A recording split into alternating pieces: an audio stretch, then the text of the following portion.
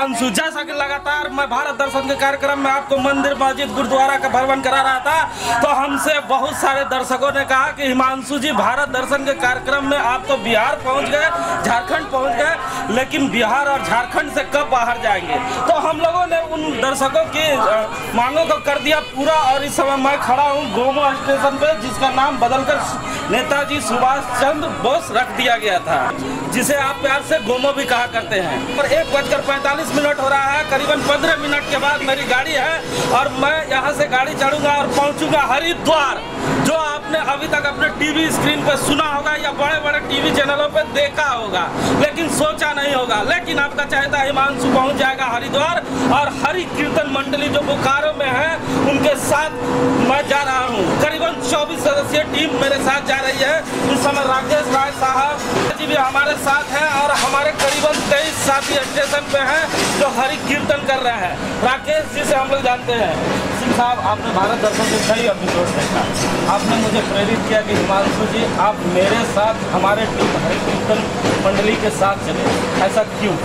ऐसा है कि जिस उम्र में आपने इतना बड़ा स्टेप उठाया है, इस उम्र उम्र में जो है लोग नेता और अभिनेता में जुड़े रहते हैं, लेकिन आपने अध्यात्म से जुड़कर बोकारो शहर को जो दिया है, बोकारो के तमाम मंदिरों को दिखाने के बाद आपने भारत दर्शन का जो निर्णय लिया, उसका हम चारों धाम हरि कीर्तन मंडली, भव्य स्वागत और आपका जो है अभिनंदन करते हैं। इसलिए हम लोगों ने, पूरे मंडली के लोगों ने मिलकर ये निर्णय लिया है कि हम हिमांशु जी को और अंतरकथा डी फोकस को ले चलेंगे हरिद्वार, जहाँ चल के आपको हम हरि के द्वार में जो हरि कीर्तन करेंगे और विशेष रूप से बोकारो के दर्शकों को आप हरिद्वार की विशेष महिमा, जहाँ आज तक नेशनल चैनल के लोगों ने दिखाया है, हम आपके माध्यम से बोकारो के लोगों को दिखाना चाहते हैं। एक बहुत बड़ी बात है, हरिद्वार प्रसिद्ध है, लेकिन बहुत लोग नहीं जानते हैं कि हरिद्वार क्यों प्रसिद्ध है तो आप बराबर जाया करते हैं, आपकी मंडली बराबर जाती है तो आखिर हरिद्वार क्यों कर? इसका नाम ही हरि का द्वार, जहाँ भगवान का द्वार खुलता है यहीं से आप बद्रीनाथ, केदारनाथ, गंगोत्री, जमुनोत्री तमाम जगहों पर जो है जाने का रास्ता यहीं से खुलता है और हम लोग जहाँ जा रहे हैं, वहाँ का भी रास्ता हरिद्वार हरि की पौड़ी जो है, जहाँ हरि की पौड़ी भगवान जो है, वहीं गंगा को जो है उत्तरायणी का घुमाए हुए हैं। वहाँ आप देखेंगे तो बाबा रामदेव जी का स्थल है, गायत्री शक्तिपीठ का स्थल है, महात्माओं का एक बसल बसर है और वहाँ का माहौल ही रमणीक माहौल है। इस माहौल में आप चल के जो है, बोकारो के लोगों को जो दिखाएँगे, आनंद ही आनंद आएगा। बहुत बहुत धन्यवाद। मैं अपना समय व्यर्थ नहीं करना चाह रहा हूँ, क्योंकि मैं पाँच मिनट आपको बताने में ही चला गया। मेरे पास केवल दस मिनट बचा हुआ है और मेरी ट्रेन आने वाली है। और दो बज, दो बजे मेरी ट्रेन है। तो रात्रि के दो बजे आपका चहेता हिमांशु गोबो स्टेशन पे इसलिए खड़ा है कि जो लोग पैसे की कमी के कारण या किसी दुख के बाद हरिद्वार नहीं पहुँच पाए, आपका हिमांशु आप तक आपके टीवी स्क्रीन पर हरिद्वार का दर्शन कराएगा। आइए हमारे साथ। मानो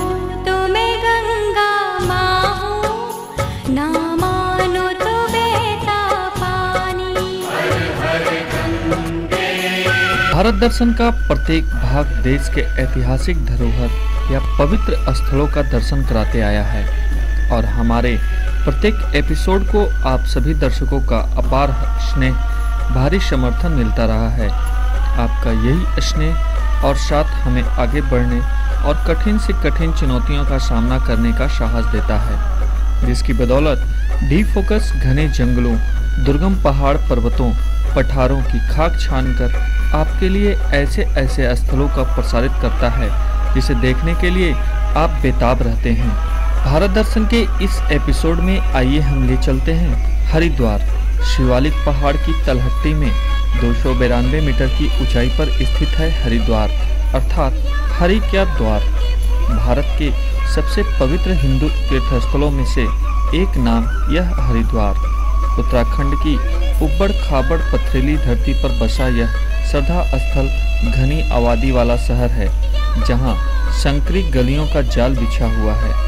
हरिद्वार में कई ऐसे पवित्र स्थल या धरोहर है जो सद, सदियों से दर्शनीय रहे हैं जैसे पहाड़ की शिखाओं पर स्थित माँ मनसा देवी मंदिर माँ ज्वाला देवी मंदिर गंगा जी मंदिर राजा जी नेशनल पार्क भीम गोदा बाँध हर की पौड़ी।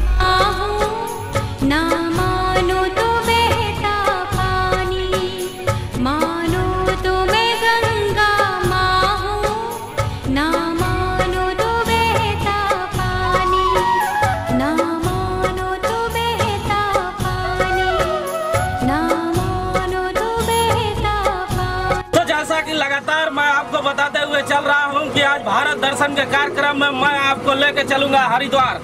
जैसा कि कल रात को मैंने बताया था कि करीबन दो बजे मैं गोमो से, देहरादून एक्सप्रेस गाड़ी पे चढ़कर करीबन 12 से 13 घंटा का सफ़र हम लोग तय कर चुके हैं और आज हमारे सफ़र का दूसरा दिन है। हमारे साथ बोकारो स्टील सिटी से चल के आए करीबन तेईस गणमान लोग भी हैं जो तस्वीरों में नज़र आ रहे हैं। हमारे साथ राम कुमार यादव साहब भी हैं, जिन्होंने चास नगर से उपाध्यक्ष पद का चुनाव भी लड़ा था।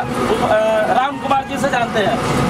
यादव साहब, आप इतने दिनों से वैष्णो देवी जा रहे हैं अमरनाथ जा रहे हैं, आज हरिद्वार जा रहे हैं। कैसा लग रहा है?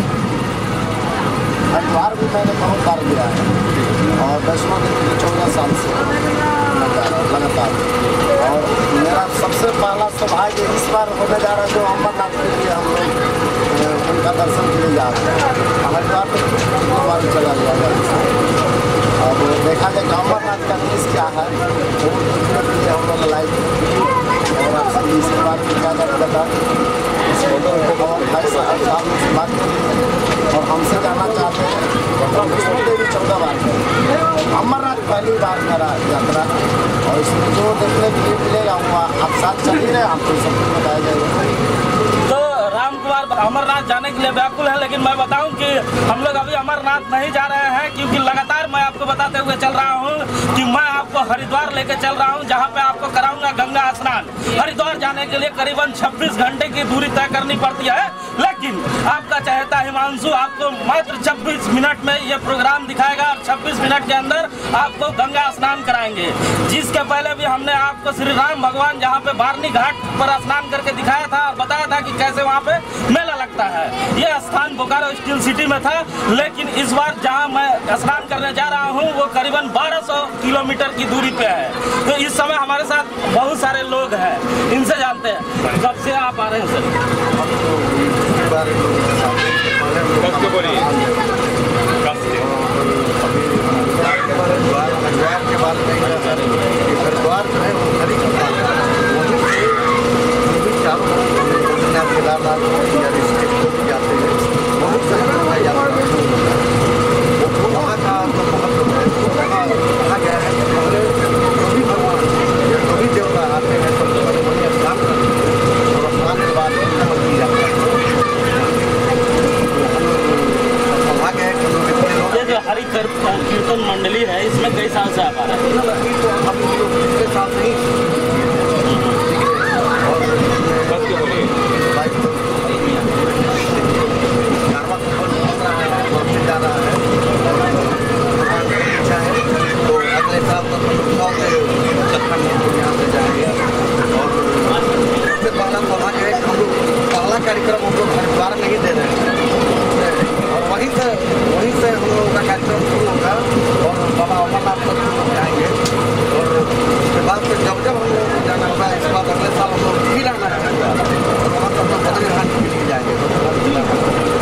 तो हम लोगों का सौभाग्य है और आपका साथ है ठीक है कि यह यात्रा मंगलमय सबका हो सब मिले और यात्रा मंगलमय हो और सब लोग सकुशल घर पहुँच जाए इस समय अ, बोकारो से चल के आए संजय ठाकुर साहब भी हमारे साथ हैं ठाकुर साहब इस हरि कीर्तन मंदिर में केवल और केवल जेंट्स जा रहे हैं तो कितनी याद आ रही है अपने बच्चों की और परिवार की कि आज इस अ, यात्रा में रहते तो अ, कितना मज़ा आता है ऐसा है कि इसके पहले हम लोग माँ कामाख्या के दर्शन को गए थे जिस तरह बोकारो से चले थे तो फिर अ, पीछे कोई है हम लोगों का ऐसा हम लोग भूल ही गए थे ये आपस में इस मंडली में ये अ, प्रेम भाव है आपस में कि पीछे और कोई है ये हम लोग भूल जाते हैं तो अभी भी चले हैं तो पीछे की याद अभी थोड़ी बहुत आ रही है लेकिन लगता है कि हरिद्वार पहुँचते पहुँचते वो याद भी दस दिन के लिए आदमी भूल जाएगा तो अगर संजय ठाकुर जी की पत्नी अगर इस प्रोग्राम को इस समय देख रही है तो गुस्सा ना होइएगा क्योंकि वो हरि कीर्तन मंडली के साथ है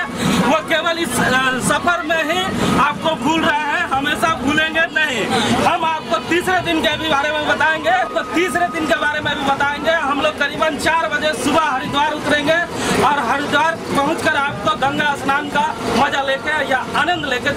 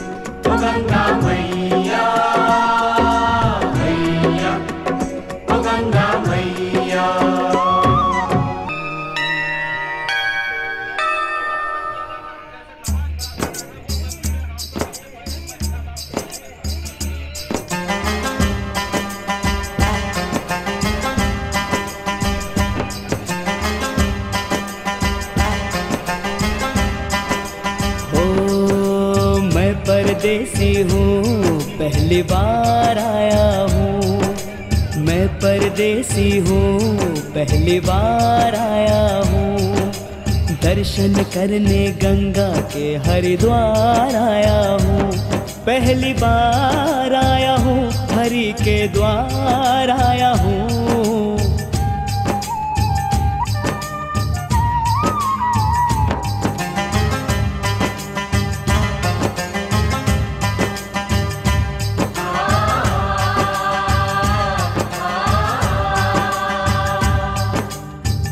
ब्राह्मण पुत्र, ये तो बताओ, हर की पौड़ी जाने का रास्ता किधर से है? इधर से है? या उधर से है। सुनो भक्त पर परदेसी हर की नगरी हरी जैसी। हर बड़े सरल है रास्ते रास्तों की चिंता कैसी? आओ मेरे साथ आओ तुम्हें रास्ता बताओ। शिव प्रिय मंदाकिनी। तो जैसा कि लगातार मैं आपको बताते हुए चल रहा हूँ कि मैं आपको हरिद्वार लेके चलूँगा। तो इस समय 30 घंटे के सफ़र करने के बाद मैं हरिद्वार उतर चुका हूँ और ठीक स्टेशन के सामने खड़ा हूँ। इसी स्टेशन रोड से जब लोग दो किलोमीटर की यात्रा तय करते हैं तो पहुँचते हैं हर की पौड़ी जहाँ पर करते हैं गंगा स्नान। और इसी गंगा स्नान करने के लिए पूरे देश से नहीं, पूरे वर्ल्ड से लोग आया करते हैं। ऐसे तो हरिद्वार का हरिद्वार को माया नगरी भी कहा जाता था वेद पुराणों में।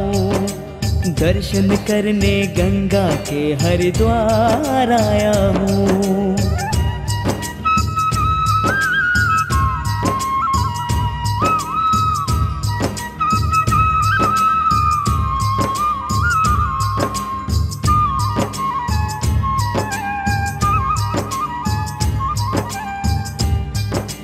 इतनी पावन जगह, ये कौन सा स्थान है बेटा?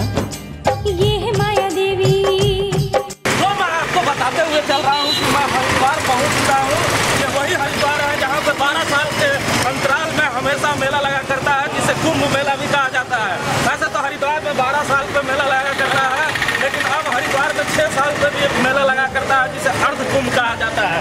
इस समय मैं स्टेशन रोड पे हूँ, और इसी से लोग जब दो किलोमीटर की दूरी तय करते हैं तो पहुँचते हैं हर की पौड़ी, जहाँ पे स्नान किया करते हैं और अपनी आत्मा को खुद किया करते हैं। जो लोग यहाँ स्नान किया करते हैं, उनका मानना है कि अगर यहाँ पे स्नान कर लेते हैं तो उन्हें पुण्य की प्राप्ति होगी। तो इसी पुण्य की प्राप्त करने के लिए हिमांशु भी करीबन 1500 किलोमीटर की दूरी तय कर पहुँच गया हरिद्वार, आपके लिए। मैं करीबन 10 लाख उस ऑडियंस के लिए जो मुझे प्यार किया करते हैं और समय कमी के कारण हरिद्वार नहीं आ पाते हैं। और जिनके पास अगर पैसा नहीं है और वो हरिद्वार नहीं आ पाते हैं, उनके लिए एक शुभ समाचार है कि हिमांशु हरिद्वार पहुँच चुका है। और कुछ ही देरों में आपको गंगा स्नान का आनंद उठाकर दिखाएगा। धन्यवाद।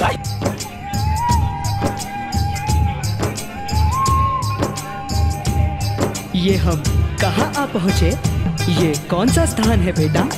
है अपने भक्तों की पर्वत पर है बैठी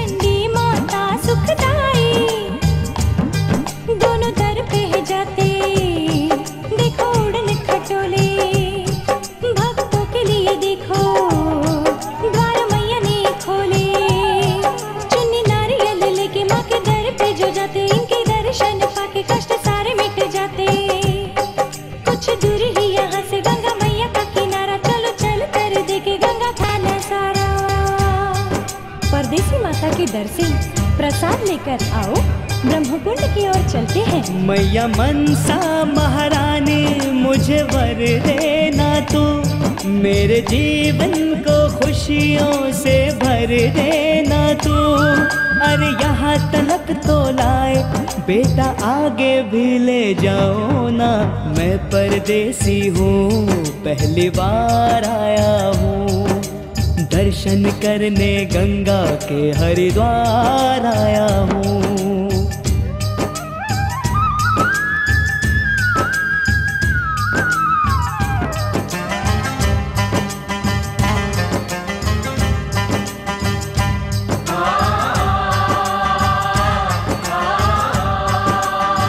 वाह, कैसी ये गंधारा है।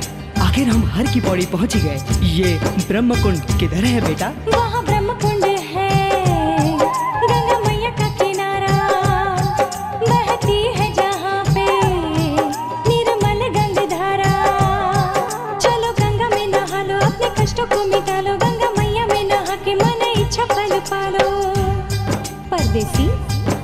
सच्चे मन से मांगने से हर इच्छा पूर्ण हो जाती है।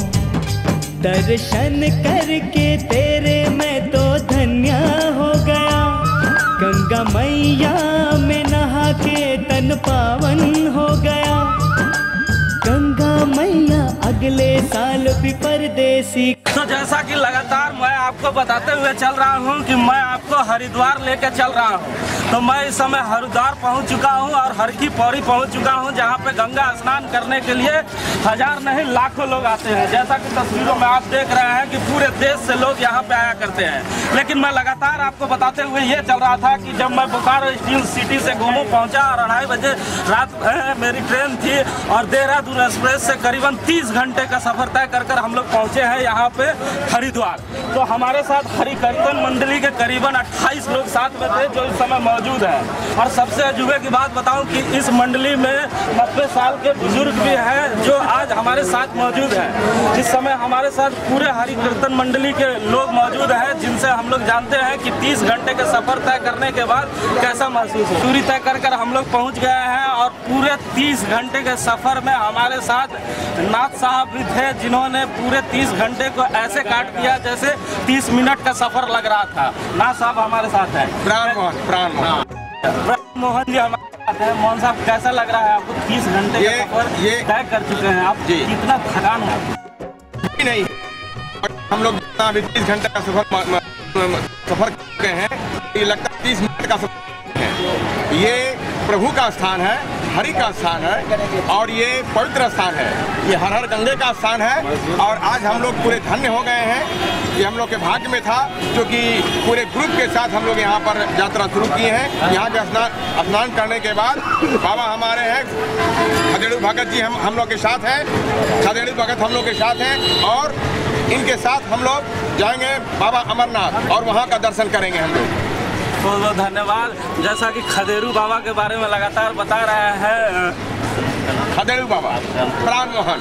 जैसा कि खदेरू बाबा के बारे में लगातार मैं भी बता रहा था प्राण मोहन साहब भी बता रहे थे। तो खदेरू बाबा भी इस समय हमारे साथ हैं।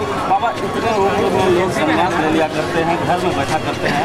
आप हरिद्वार पहुँच गए और अभी बड़ी लंबी यात्रा कर रहे हैं। तो क्या आपने देखा कि इस हरि कीर्तन मंडली के साथ चले हैं? ये मंडी में बोकारो। तेज बोलो बाबा तेज। तेज बोलो थोड़ा सा। बोकारो के मंडली के साथ साथ हम लोग आया भगवान के दरबार क्या है?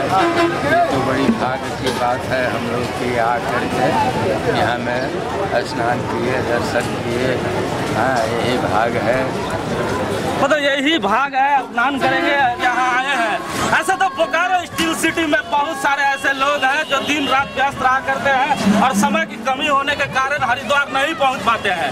लेकिन मैं लगातार आपको ये बताते हुए आ रहा हूँ कि मैं हिमांशु हरिद्वार पहुँच चुका हूँ और बहुत जल्दी आपको गंगा स्नान का दर्शन कराएँगे, गंगा जी का दर्शन कराएँगे। लेकिन अपने टीवी स्क्रीन को छोड़कर कहीं मत जाइएगा, मिलते हैं छोटे से ब्रेक के बाद।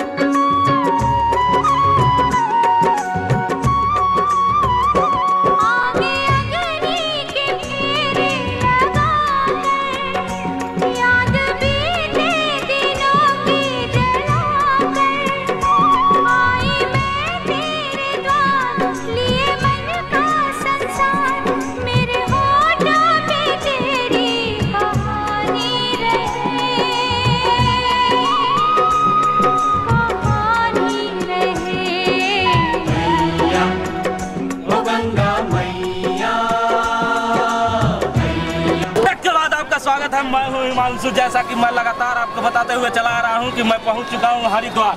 लेकिन जिन लोगों ने अभी अभी अपना टीवी स्क्रीन खोला है, मैं उन्हें बता दूँ कि मैं बोकारो स्टील सिटी से करीबन 1400 किलोमीटर की दूरी तय कर कर पहुँच चुका हूँ हरिद्वार और मैं उस जगह पे खड़ा हूँ जहाँ पे गंगा माता ज़मीन पर उतरा करती है।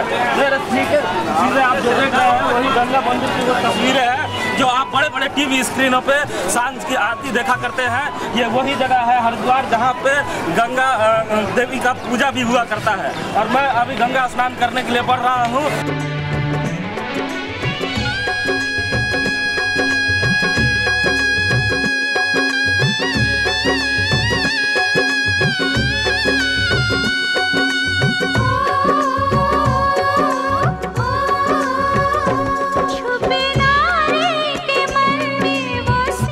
लगातार ये बताते हुए चल रहा हूँ कि मैं आपको हरिद्वार लेके चल। जिसे देखने के लिए, के लिए बहुत लोग सोचा करते हैं या तरसा करते हैं। लेकिन मैं बताऊँ जो लोग हमारे टीवी चैनल को इस समय देख रहे हैं कि उनके लिए सौभाग्य की बात है कि मैं आपके चलते 1400 किलोमीटर की दूरी तय कर कर पहुँच चुका हूँ हरिद्वार। और इसी गंगा नदी में लोग प्रवेश किया करते हैं। पानी बहुत ही ठंडा है लेकिन मैं प्रवेश कर रहा हूँ और इसमें स्नान कर कर उनकी भागीदार बनना चाह रहा हूँ। क्योंकि हरि कीर्तन मंडली के अभी बहुत सारे नौजवान मेरे साथ हैं, जो बोकारो से चल के मेरे साथ आए हैं और गंगा जी का की तस्वीरों में देख रहे हैं। ये सज्जन बोकारो से चल के आए थे और इनकी मनोकामना थी कि हरिद्वार जाए और गंगा स्नान करे। करीबन 50 साल बीतने के बाद ये ख्वाहिश पूरी हो गई है और चाचा जी भी आज हमारे साथ है और गंगा स्नान साथ में करेंगे।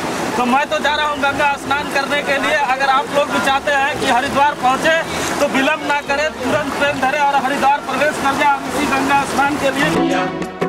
ओ गंगा मैया मैया ओ गंगा मैया मैया ओ गंगा मैया।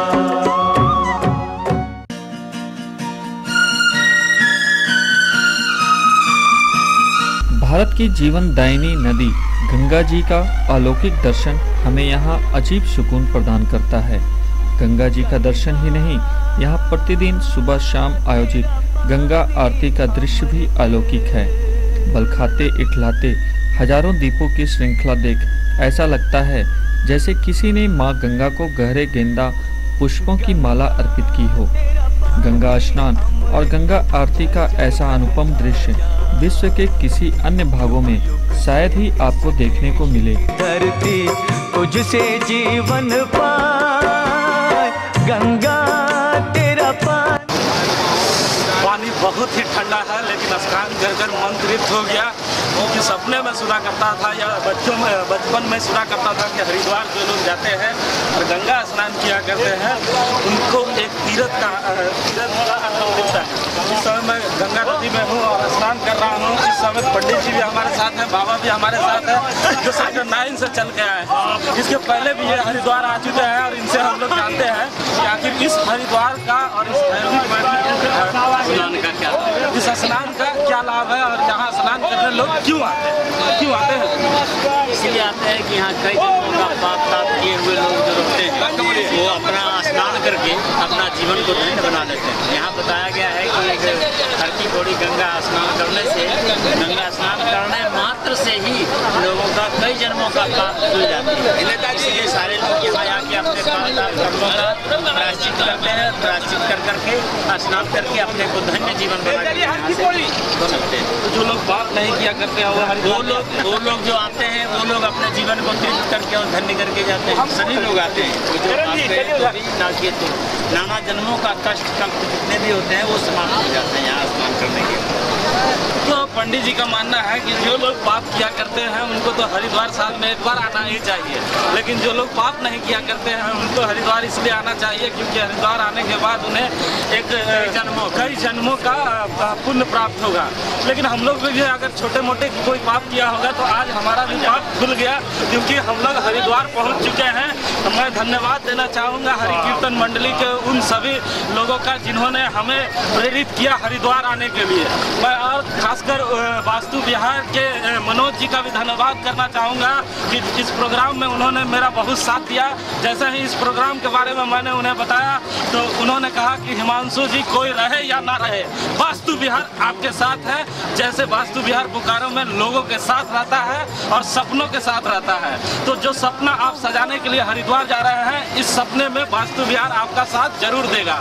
इसलिए मैं फिर से पुनः मनोज जी का धन्यवाद देना चाहूँगा और हरि कीर्तन मंडली का भी धन्यवाद देना चाहूँगा, जिन्होंने मुझे हरिद्वार का दर्शन कराया और मुझे तो कराया ही कराया। सात चंद्रपुरा दुगधा बाग मारा गोविंदपुर हजारीबाग रामगढ़ में देखने वाले अंतरकथा टी फोकस के करीबन दस लाख दर्शकों को भी ये आनंद उठाया। इसलिए हरि कीर्तन मंडली और वास्तु विहार को फिर से मैं धन्यवाद देना चाहूँगा और पुनः मैं गंगा स्नान और मैं ये अफसोस के साथ आपको कहूँगा कि स्नान मैं आपके घर तक नहीं करा पा रहा हूँ, लेकिन आपका टीवी स्क्रीन पर ज़रूर करा रहा हूँ। तेरा पानी अमृत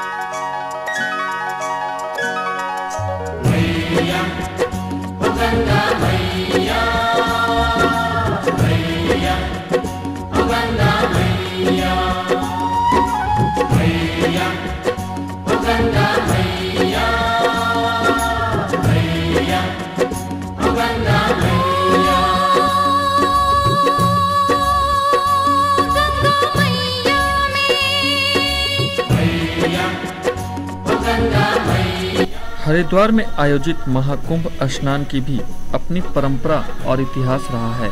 ऐसी मान्यता है कि देव ऋषि जयंत वाहिद कुंभ का अमृत हर की पौड़ी के ब्रह्म कुंड में गिरा था। अतः इस समय यहाँ आकर स्नान करने से पुण्य के साथ साथ स्वर्ग प्राप्ति का योग सिद्ध होता है और इसी कारण प्रत्येक 12 वर्ष के अंतर पर यहाँ कुंभ मेला आयोजित होता है। तथा छः वर्ष के पश्चात अर्ध कुंभ जिसमें देश विदेश के लाखों श्रद्धालु कुंभ स्नान को हरिद्वार आते हैं।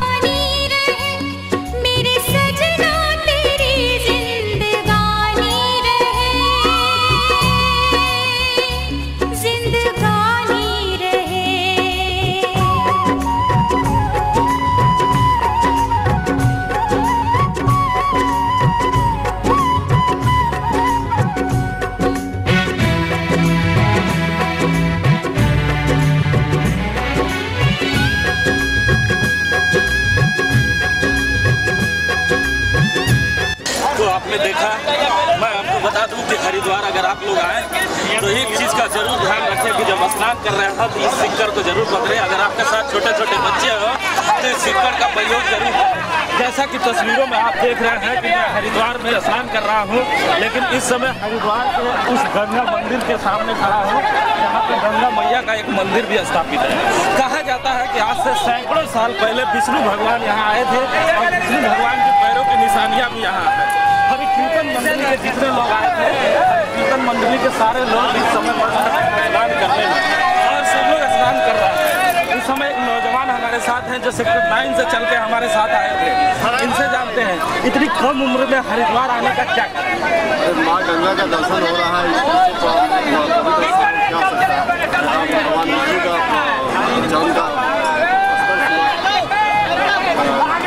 सभी जाता है, यहाँ पे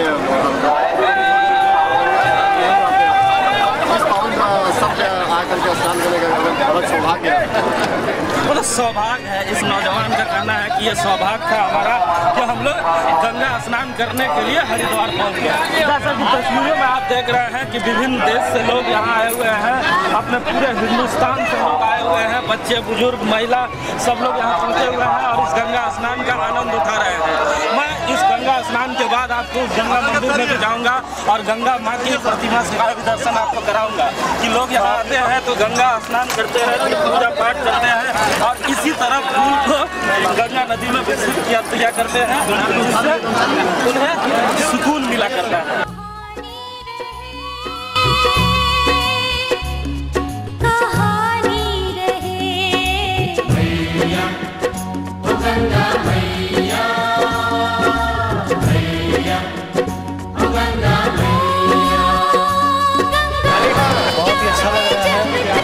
सोचा नहीं था, लेकिन भारत दर्शन की वजह से आज हम हर एक जगह का दर्शन कर रहे हैं आज। और ये हरिद्वार में आके गंगा स्नान किए बहुत अच्छा लगा। इसके लिए वास्तु विहार, कीर्तन मंच को धन्यवाद।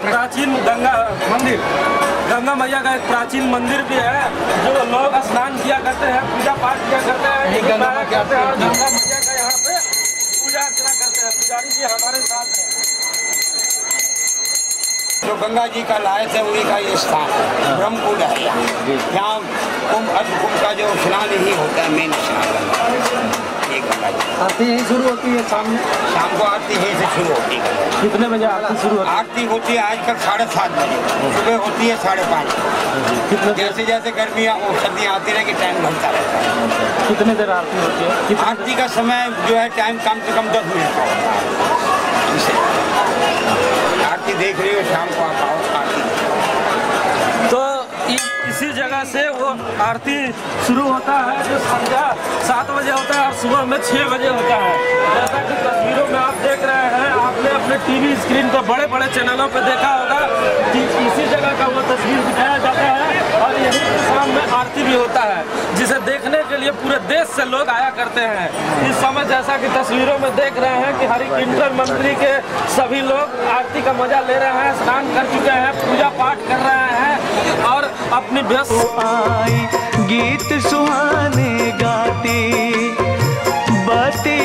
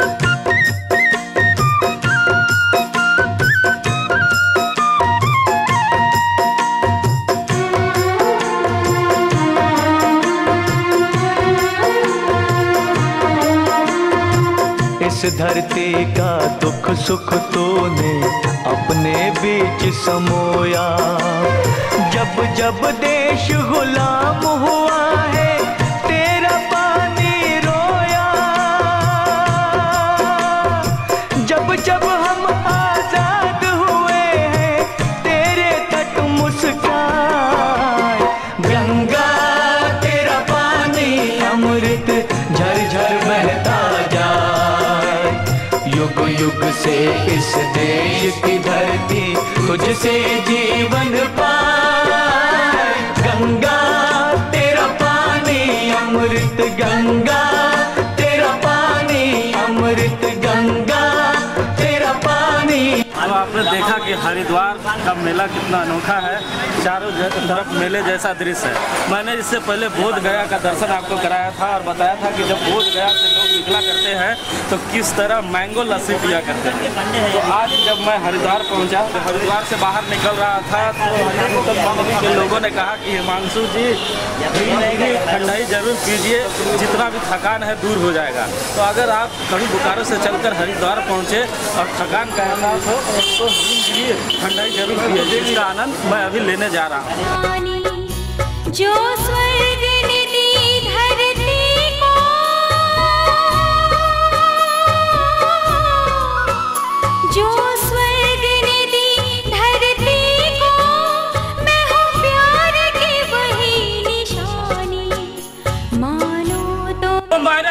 पूरा हरिद्वार का भ्रमण कराया और बताया कि हरिद्वार कैसे लोग आते हैं, का जाने का और स्नान करने का सारा तरीका हमने आपको बताया। लेकिन मैं बताऊँ आपको कि जब लोग हरिद्वार आते हैं और स्नान कर लिया करते हैं और मन को पवित्र कर लिया करते हैं तो रास्ते में बहुत तरह की दुकानें मिला करती है।